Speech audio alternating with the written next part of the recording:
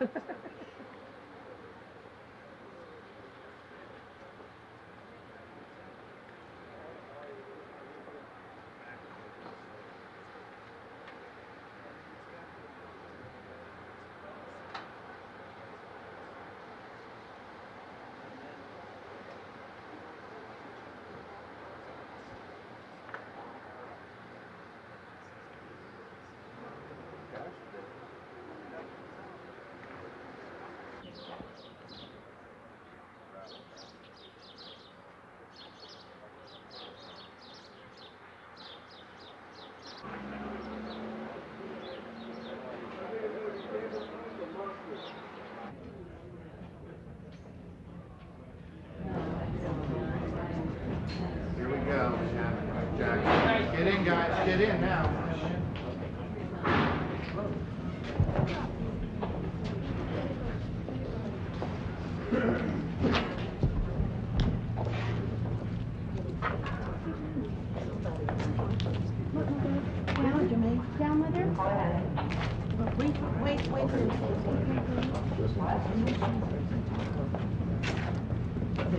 Michael, any plans for the weekend? Any plans for the weekend, Michael? How do you think this week went? Any plans for the weekend? It was very good. It was very good. I agree with Michael Jackson today. I think that it went very, very well, and I think it started with the video at the end of the prosecutor's direct examination, because that video showed uh, a lack of false imprisonment, a lack of duress, and and constant affirmations about Michael and, and how much the family loves him, like he's like a father, and there's been no inappropriate con- you know conduct by Michael.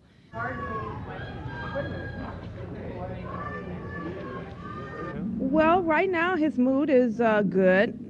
He has, uh, as all of us, this is the end of the week, so therefore I'm sure he's looking forward to a couple of days rest.